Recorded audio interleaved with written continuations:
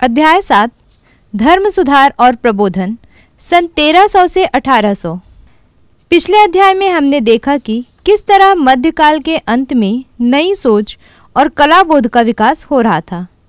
हमने यह भी देखा कि किस प्रकार विभिन्न संस्कृतियों के आपस में मेल मिलाप से सीखना सिखाना शुरू हो गया था। धर्म इन सब बातों से कैसे अछूता रह जाता? मध्यकाल के अंत में हम व्यापक पैमाने पर लोगों के धर्म और विश्वास में बदलाव देख पाते हैं। यह भारत और इस्लामी देशों में क्रमशः भक्ति आंदोलन और सूफी आंदोलन के रूप में हुआ। यूरोप में रेनासा और वैज्ञानिक क्रांति के साथ साथ एक महत्वपूर्ण आंदोलन ईसाई धर्म में सुधार लाने का चल रहा था।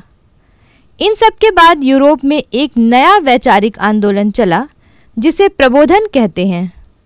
जिसके अंतर्गत तर्क और आलोचनात्मक दृष्टिकोण का विकास और वैज्ञानिक सोच का प्रसार हुआ।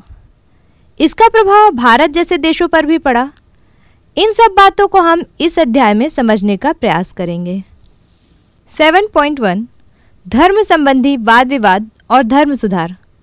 मध्यकाल के बारे में यह सामान्य धारणा है कि तब लोग धर्म भीरू थे और धर्माचार्यों एवं धर्म ग्रंथों के प्रति अंधश्रद्धा रखते थे।